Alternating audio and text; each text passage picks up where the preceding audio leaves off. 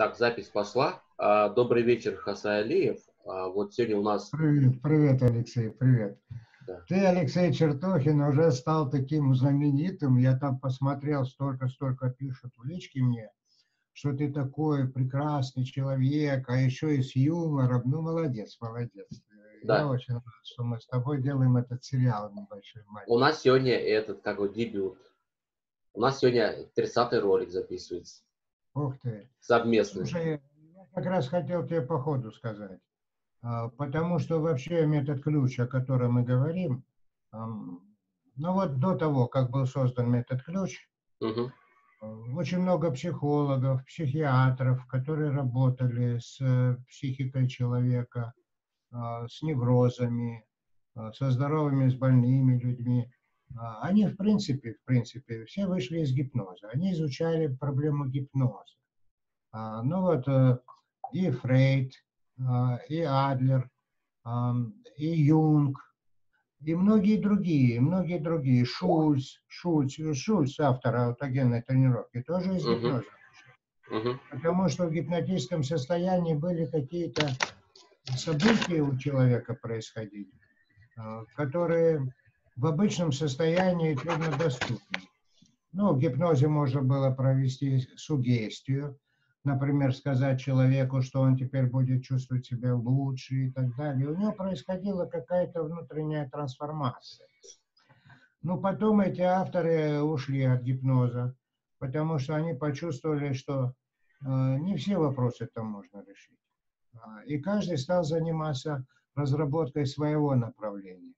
Фрейд пошел в направлении, он поставил доминанту сексуальности и все изучал и сновидения и прочее через вот этот вот пансексуальность, понимаешь? Ну, Адлер там, а потом Юнг, они вот э, немножко разошлись с этим, потому что Юнг, например, увидел, что многие люди, они эм, каким-то типичным для себя образом рассматривают себя а, и все окружающее в зависимости от структуры личности. Ну, короче говоря, я что хочу тебе сказать, э, э, что метод является продолжением автора. Угу. То есть, э, если Фрейда интересовали больше там социальный аспект, а, то Юнга, например, больше интересовал интересовала структура личности.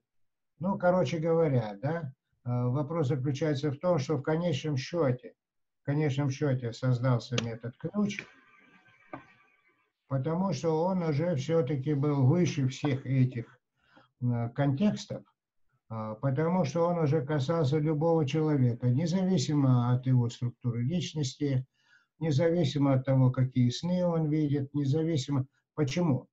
Потому что там, в этом методе, синхронизировано, а, синергировано все достижения и Фрейда, и Адлера, и Юнга, и Шульца, и других авторов синхронизированы. Угу. Я понятно говорю? Да, это понятно. За счет чего? За счет того, что каждый человек, кто бы он ни был, кто бы он ни был, какая бы у него ни была структура личности, национальность, вероисповедание, вкусы, привычки, э, характерные особенности. Независимо от этого, э, он мог использовать метод ключ. Почему? Потому что именно ключ э, обладает впервые в сравнении со всеми другими известными методами принципом подбора индивидуальных приемов и упражнений и дан научный критерий, как любой человек может себе их подбирать очень быстро – Э, по скорости автоматизации начатого действия, то есть по существу там синхронизирующие приемы, которые создают многоуровневую синхронизацию человека и производят согласование его психических и физиологических процессов, согласуют его рацию, его ум э, и физиологию, работу внутренних органов, а, согласует все его сновидения, которые он видел, его цели, его устремления. Uh-huh. Но для этого нужно было как раз таки много лет не работать, чтобы создать этот критерий индивидуального подбора приемов, чтобы каждому человеку подходил.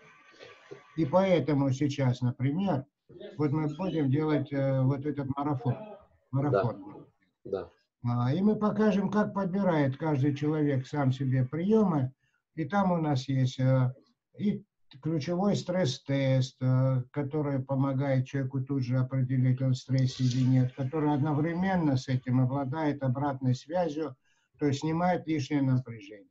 Там есть и разгрузка, которая позволяет человеку освободиться от всех эмоциональных напряжений и негативных эмоций, выйти на самого себя, то есть на такое состояние, ну там такой легкий пофигизм, когда он смотрит на все отстраненно и лучше понимает, чего он хочет и как этого достичь.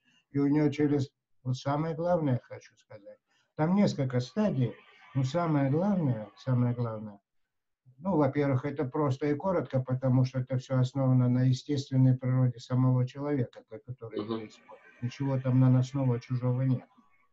Но самое главное, слушай, был и Хаббард, который, в принципе, почти дошел до этого, но потом он немножко сошел с ума, но это официально, официально известно. А, Подтверждено. И ушел немножко в сторону. Ну, было, что он тоже этой разгрузкой занимался, а у него это называлось очищением или как-то там по-английски называется. А, а кто быстрее, Хаббард или у вас был методик? Что-что? У кого быс- быстрее была методика, у вас или у Хаббарда? Ну, у меня самая быстрая в мире, тут что говорить. Все. Самая Вот. быстрая, потому что тут во- вопрос, вопрос в другом. Во-первых, тренируемся мы подбирать приемы и использовать их с различными задачами и целями в зависимости от исходного состояния. Там есть принципы, правила, э, там впервые даны научные определения, что это такое и как это делать. И самое главное, самое главное, в отличие от э, принципа шаг за шагом, степ-бай-степ, Угу. там необычное правило, там правило индивидуального подбора путем перебора, то есть то, что получается, делает, что не получается, отбрасывай. Это так интересно. И Тогда ты выходишь на себя, Да. потому что то, что тебе легко дается. И самое главное, там в основе философия, что человек творец по природе. Ему мешает только стресс, потому что это перенапряжение, это перемобилизация. А, И когда он научается регулировать свое состояние, на самом деле оказывается, самое главное научиться регулировать свое нервно-психическое напряжение.